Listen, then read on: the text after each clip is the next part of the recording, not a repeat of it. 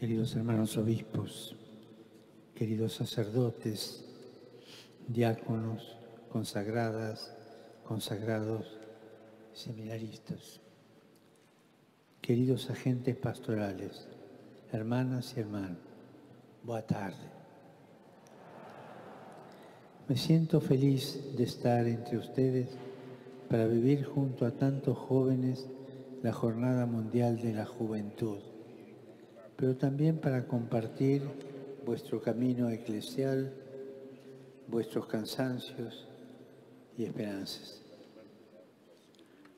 Agradezco a Monseñor José Ornelas Carvalho las palabras que me ha dirigido.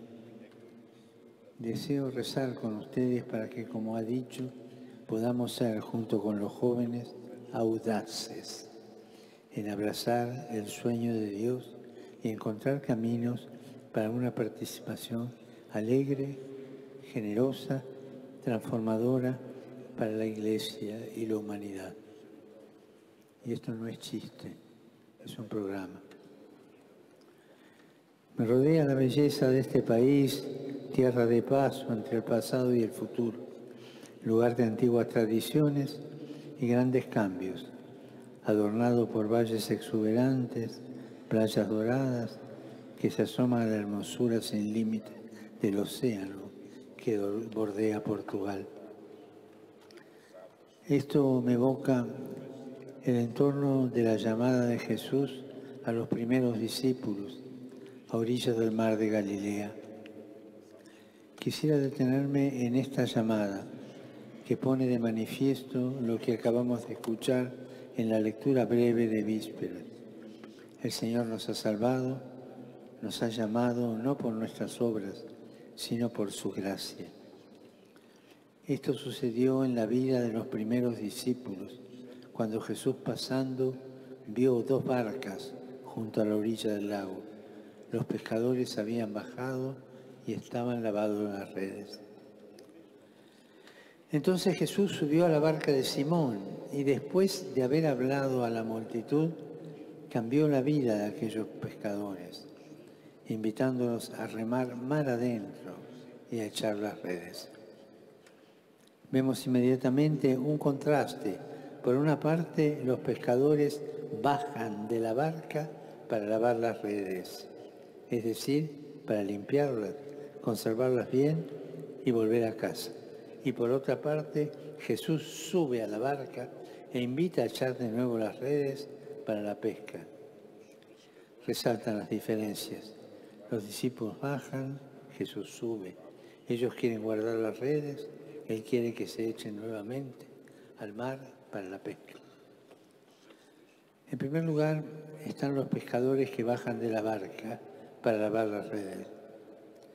Esta es la escena que se presenta ante los ojos de Jesús. Él se detiene precisamente allí. Hacía poco que había comenzado su predicación en la sinagoga de Nazaret, pero sus compatriotas lo habían empujado fuera de la ciudad e incluso habían intentado matarlo. Entonces él salió del lugar sagrado y comenzó a predicar la palabra entre la gente, en las calles, donde las mujeres y los hombres de su tiempo se afanaban cada día.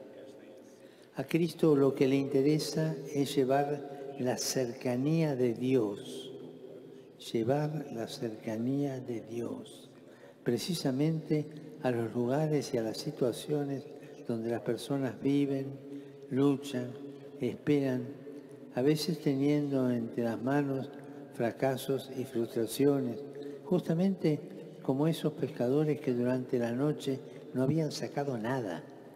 Jesús mira con ternura a Simón y también a sus compañeros que cansados, amargados, lavan sus redes, realizando un gesto repetitivo, automático, pero también lleno de fatiga y de resignación, no quedaba más que volver a casa con las manos vacías.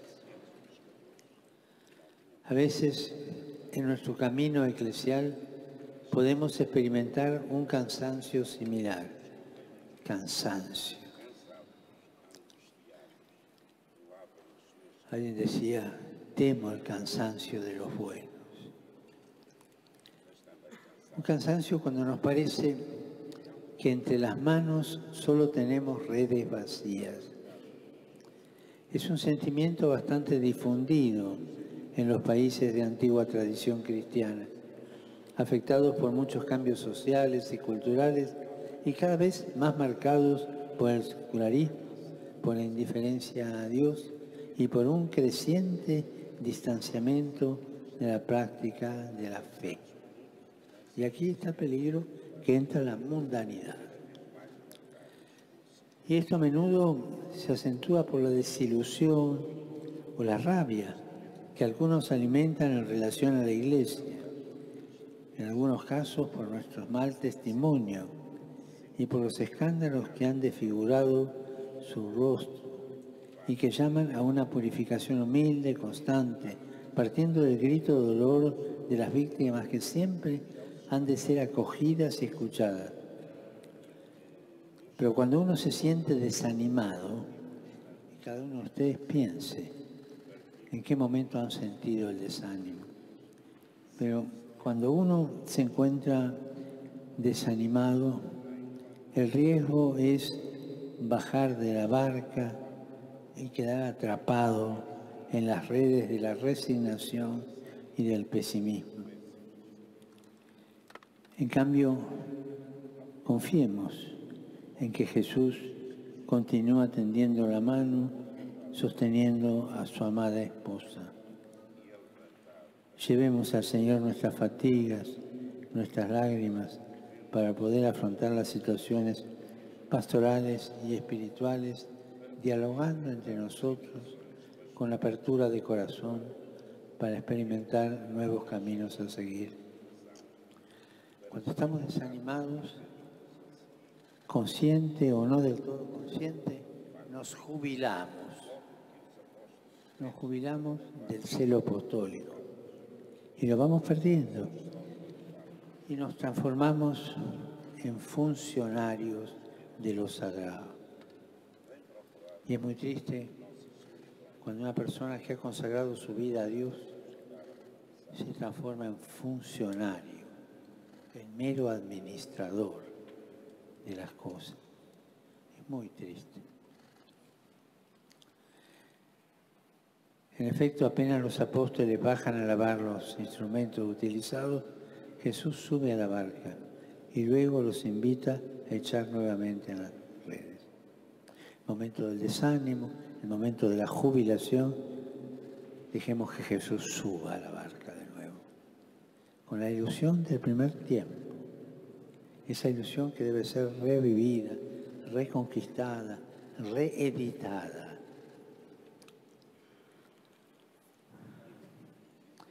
Él viene a buscarnos en nuestras soledades, en nuestras crisis, para ayudarnos a recomenzar. La espiritualidad del recomienzo. No le tengan miedo. Así es la vida caer y recomenzar, aburrirse y recibir de nuevo la alegría. Recibir esa mano de Jesús. También hoy pasa por las orillas de la existencia para reavivar la esperanza y decirnos también a nosotros, como a Simón y a los otros, navega mar adentro, echen las redes. Y cuando se pierde la ilusión, nos salen mil justificativos para no echar las redes.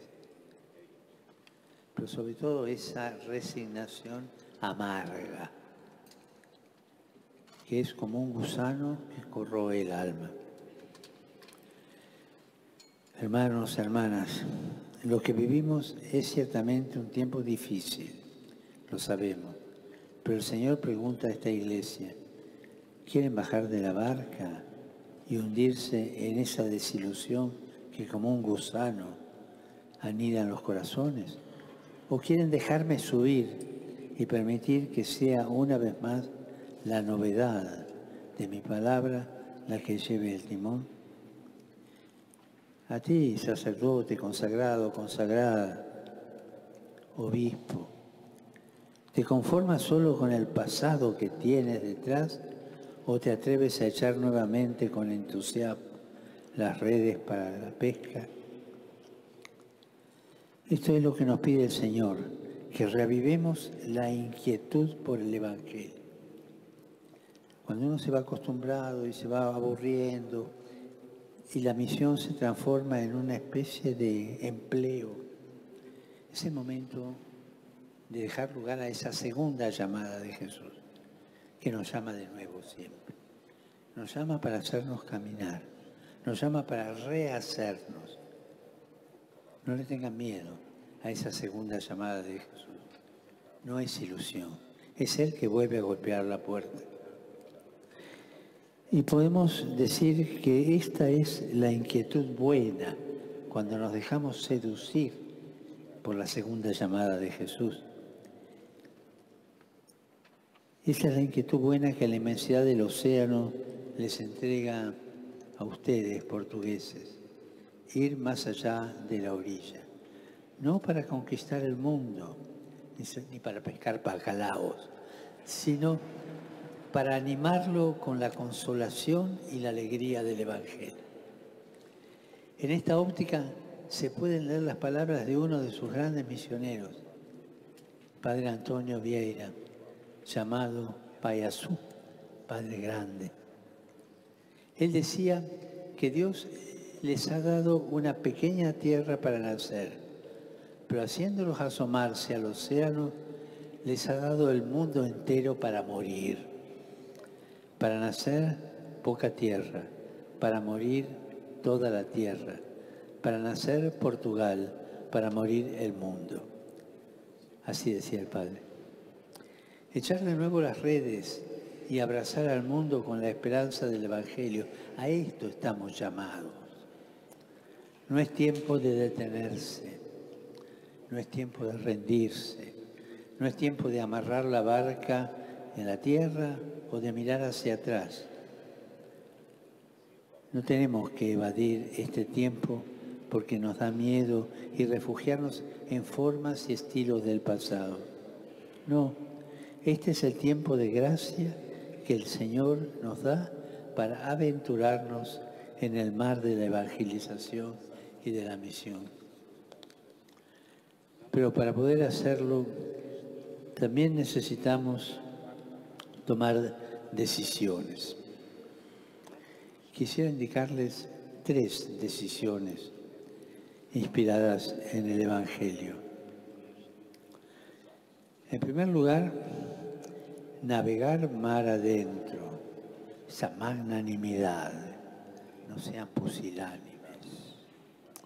Navegar mar adentro, para echar nuevamente las redes al mar, es necesario dejar la orilla de las desilusiones y del inmovilismo, tomar distancia de esa tristeza dulzona y de ese cinismo irónico que tantas veces nos asaltan frente a las dificultades. Tristeza, dulzor, cinismo irónico. Examinemos la conciencia sobre esto. Recuperar la ilusión, pero en una segunda edición de la ilusión, la ilusión ya madura, la ilusión que viene de fracaso o de aburrimiento. No es fácil recuperar la, ilusión adulta. Es necesario hacerlo para pasar del derrotismo a la fe como Simón, que aún habiendo trabajado en baba toda la noche, afirmó, si tú los dices, echaré las redes. Pero para confiar cada día en el Señor y en su palabra, no son suficientes las palabras, se necesita mucha oración. Yo quisiera aquí hacer una pregunta, pero cada uno se la responde adentro. ¿Cómo rezo yo? ¿Como un loro, bla, bla, bla, bla, bla? ¿O durmiendo la siesta delante del sagrario? Porque no sé cómo hablar con el Señor. ¿Rezo? ¿Cómo rezo? Solo en la adoración, solo ante el Señor se recuperan el gusto y la pasión por la evangelización. Curiosamente, la oración de adoración la hemos perdido. La hemos perdido. Y todos, sacerdotes, obispos, consagradas, consagrados, laicos, tienen que recuperarla. Es estar en silencio delante del Señor. La Madre Teresa, metida en tantas cosas de la vida, nunca dejó la adoración, aún en los momentos en que su fe tambaleaba y se preguntaba si era todo verdad o no. Momento de la oscuridad, que también lo pasó Teresita de Jesús. Entonces, en la oración se supera la tentación de llevar adelante una pastoral de la nostalgia y de los lamentos. En un convento había una monja, histórico es esto, que se lamentaba de todo. Y no sé qué nombre tenía, pero las monjas le cambiaron el nombre y la llamaban Sor Lamentela. ¿Cuántas veces nuestras impotencias, nuestras desilusiones, las transformamos en lamentela? Y dejando esas lamentelas, se toma otra vez la fuerza para navegar mar adentro, sin ideologías, sin mundanidad, la mundanidad espiritual que se nos mete y de la cual se engendra el clericalismo. clericalismo no solo de los curas, los laicos clericalizados son peor que los curas. Ese clericalismo que nos arruina y que, como decía un gran maestro espiritual, esa mundanidad espiritual que provoca el clericalismo es uno de los males más graves que puede suceder a la iglesia. Superar esas dificultades sin ideologías, sin mundanidad, animados por un único deseo, que el Evangelio llegue a todos. Ustedes tienen muchos ejemplos en este camino y visto que estamos rodeados de jóvenes, quisiera recordar a un joven de Lisboa, San Juan de Brito, era un muchacho de aquí, que hace siglos, en medio de muchas dificultades, se fue para la India y empezó a hablar y a vestirse del mismo modo de los que encontraba para anunciar a Jesús. También nosotros estamos llamados a sumergir nuestras redes en el tiempo en que vivimos, a dialogar con todos, a hacer comprensible el Evangelio, aun cuando para hacerlo podamos correr el riesgo de alguna tormenta como los jóvenes que vienen aquí de todo el mundo para desafiar las olas gigantes, también nosotros vayamos mar adentro sin miedo. No tengamos miedo de afrontar el mar abierto, porque en medio de la tormenta y de los vientos contrarios Jesús viene. Y viene a nuestro encuentro y nos dice, tranquilízate, soy yo, no tengas miedo. ¿Cuántas veces hemos tenido esa experiencia? Cada uno se contesta adentro. Y si no la hemos tenido es porque algo falló durante la tormenta. Una segunda decisión es llevar adelante juntos la pastoral, todos juntos. En el texto Jesús confía a Pedro la tarea de navegar mar adentro, pero después habla en plural, diciendo echen las redes.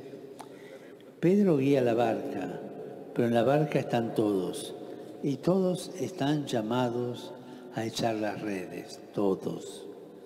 Y cuando recogen una gran cantidad de peces, no creen que pudieran hacerlo solos, no administran el don como posesión y propiedad privada, sino que, dice el Evangelio, hicieron señas a los compañeros de la otra barca para que fueran a ayudarlos. Y así llenaron dos barcas de peces. Uno significa soledad, cerrazón, pretensión de autosuficiencia. Dos significa relación. La iglesia es sinodal, es comunión, es ayuda recíproca, es camino común.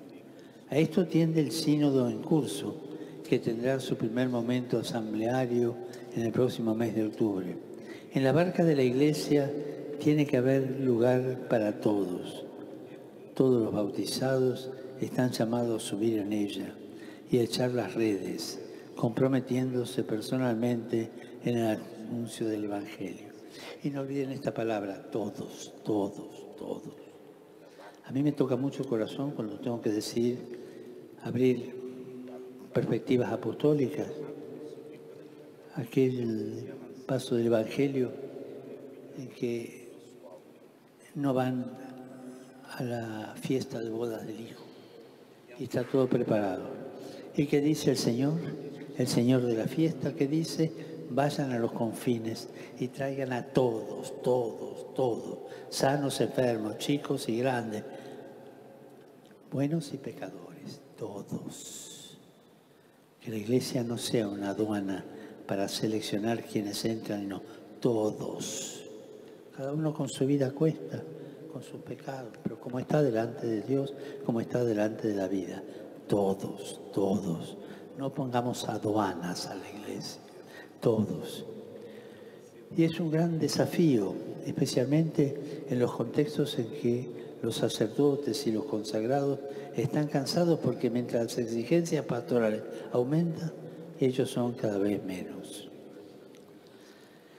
Sin embargo, en esta situación podemos ver una ocasión para involucrar con impulso fraterno y sana creatividad pastoral a los laicos. Las redes de los primeros discípulos entonces se convierten en una imagen de la iglesia que es una red de relaciones humanas, espirituales, pastorales. Si no hay diálogo, si no hay corresponsabilidad, si no hay participación, la iglesia envejece. Entonces tenemos esos agentes de pastoral que parecen más bien patrones de estancia y no coordinadores de grupos de iglesia. Y la iglesia envejece. Quisiera decirlo así, jamás un obispo sin su presbiterio y el pueblo de Dios, jamás un sacerdote sin sus compañeros, y todos unidos como iglesia, sacerdotes, religiosas, religiosos y fieles laicos. Nunca sin los otros, nunca sin el mundo. Sin mundanidad, eso sí, pero no sin el mundo. Sin el espíritu del mundo, pero no sin el mundo. En la iglesia nos ayudamos, nos sostenemos mutuamente y estamos llamados a difundir también fuera un clima constructivo de fraternidad. Por otra parte, San Pedro escribe que somos las piedras vivas empleadas para la construcción del edificio espiritual. Quisiera agregar, ustedes, fieles portugueses, son también una calzada. Son las piedras valiosas de ese suelo acogedor y resplandeciente sobre el cual el Evangelio necesita caminar. Ni una piedra puede faltar. De lo contrario, se nota inmediatamente. Y esta es la iglesia. Esta es la iglesia que con la ayuda de Dios estamos llamados a construir. Y por último, la tercera decisión, ser pescadores de hombres. No tengan miedo. Eso no es hacer proselitismo, es anunciar el Evangelio que provoca. En esta imagen tan linda de Jesús, ser pescadores de hombres. Jesús confía a los discípulos la misión de navegar mar en el mar del mundo. Con frecuencia el mar en la escritura está asociado al lugar del mal y de las fuerzas desfavorables que los hombres no logran dominar. Por eso pescar personas y sacarlas del agua significa ayudarlas a salir del abismo donde se habían hundido, salvarlas del mal que amenaza con ahogarlas resucitarlas toda forma de muerte. Pero esto sin proselitismo, sino con amor. Y una de las señales de algunos movimientos eclesiales que están andando mal es el proselitismo. Cuando un movimiento eclesial, o una diócesis, o un obispo, un cura, o una monja, o un laico, hace proselitismo, eso no es cristiano. Cristiano es invitar, acoger, ayudar, pero sin proselitismo. El Evangelio, en efecto, es un anuncio de vida en el mar de la muerte. Es un anuncio de libertad en los torbellinos de la esclavitud. es un anuncio de luz en el abismo de las tinieblas. Como afirma San Ambrosio, los instrumentos de la pesca apostólica son como las redes. En efecto, las redes no causan la muerte del que queda atrapado, sino que lo guardan con vida y lo sacan de los abismos de la luz. Hay muchos abismos en la sociedad hoy, y también aquí en Portugal, en todas partes. Tenemos la sensación de que falta entusiasmo, que falta la valentía de soñar, que falta la fuerza de afrontar los desafíos y la confianza del futuro. Y mientras tanto, navegamos en la incertidumbre, en la precariedad, sobre todo en la precariedad económica, en la pobreza de amistad social, en la falta de esperanza. A nosotros como iglesia se nos ha confiado la tarea de sumergirnos en las aguas de este mar, echando la red del Evangelio, sin señalar con el dedo, sin acusar, sino llevando a las personas de nuestro tiempo una propuesta de vida, la de Jesús, llevar la acogida del Evangelio, invitarlos a la fiesta, a una sociedad multicultural, llevar la cercanía del Padre a las situaciones de precariedad, de pobreza que aumentan sobre todo en los jóvenes, llevar el amor de Cristo allí donde la familia es frágil y las relaciones están heridas, transmitir la alegría del Espíritu allí donde reinan la desmoralización y el fatalismo. Uno de vuestros poetas escribió, para llegar al infinito, y creo que se puede llegar allí, es preciso que tengamos un puerto, uno solo, firme y a partir de él a lo indefinido. Soñamos la iglesia portuguesa como un puerto seguro para quienes afrontan las travesías, los naufragios y las tormentas de la vida.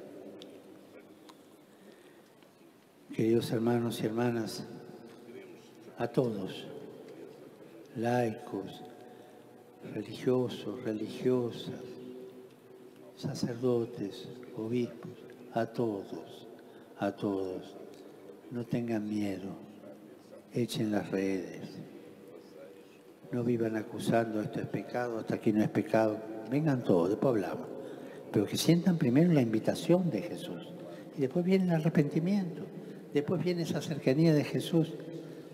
Por favor, no conviertan la iglesia en una aduana. Acá se entra los justos, los que están bien, los que están bien casados, todo. Y afuera todos los demás. No, la iglesia no es eso. Justos y pecadores, buenos y malos, todos, todos, todos. Y después que el Señor nos ayude a arreglar ese asunto. Pero todos. Les agradezco de corazón, hermanas y hermanos, esta escucha, que por ahí fue aburrida. Les agradezco todo lo que hacen, el ejemplo, sobre todo el ejemplo escondido y la constancia. Ese levantarse todos los días para empezar de nuevo o para continuar lo empezado. Como dicen ustedes, muy obrigado, porque lo que hacen...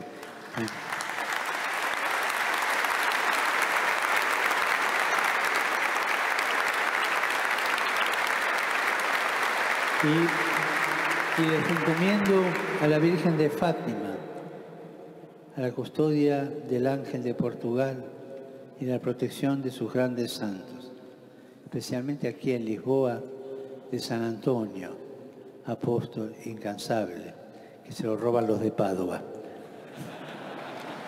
Predicador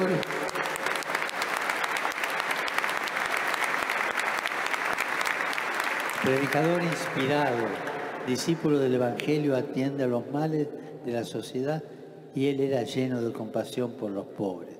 Que San Antonio interceda por ustedes y los alcance la alegría de una nueva pesca milagrosa. Después me cuentan. Y por favor, no se olviden de rezar por mí. Gracias.